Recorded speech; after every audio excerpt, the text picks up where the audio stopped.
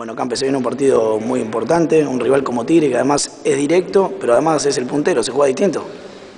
Sí, sí, para nosotros es un partido muy importante porque vamos a enfrentar a un rival directo con el tema de lo que es la, promoción y todas esas cosas. Eh, obviamente hoy a Tigre lo encuentra en una situación que todo equipo quiere estar, puntero del campeonato, pero nuestra meta es tratar de sacar los tres puntos para ir despegando de lo que es la zona de allá abajo. Vos también lo jugás distinto por la gente de Tigre, que a veces pide por la vuelta de Campestrini, o a veces algunos medios partidarios hablan con vos y piden una posible vuelta. No, no, a enfrentar a Tigre obviamente siempre es lindo por el tema de mi pasado, pero eh, hoy, hoy gracias a Dios estoy en una institución donde me siento muy cómodo. Sí, obviamente digo que, que hoy lo poquito que puedo llegar a hacer se lo debo a Arsenal, a Brom y a Tigre, pero no sé si están así que, que Tigre pide la vuelta de, de Campestrini, sino... eh, trata de recordarme eh, los dos años que estuve ahí, los, los momentos lindos que pasamos en la institución. Con respecto al presente, ¿de qué manera se le juega a este Tigre? ¿Hay que esperarlo por ahí como a los otros equipos, salir a atacarlo de, de primera?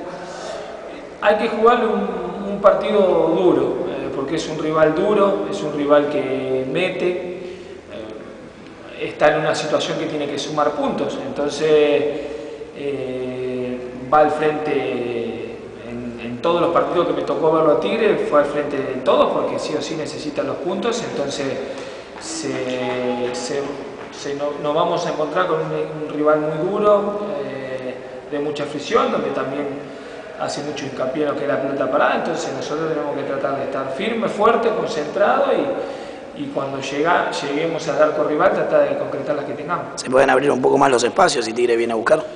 Se puede abrir los espacios, se puede, se puede hacer un, un partido lindo si, si Tigre nos encuentra fuerte, si Tigre nos encuentra que arranca el partido y ve un Arsenal que, que tiene las mismas aspiraciones de Tigre de ganar el, el- el partido, vamos a, a llevar el partido adelante. Pero si nos encuentra hablando apenas empieza el partido o en algún momento de, de los 90 minutos, se nos puede complicar. El tema de los delanteros, ya me imagino que conoces al Chino Luna, cómo defines, estudia eso un poco para saber dónde tirarte o cómo salirle. No, no, no.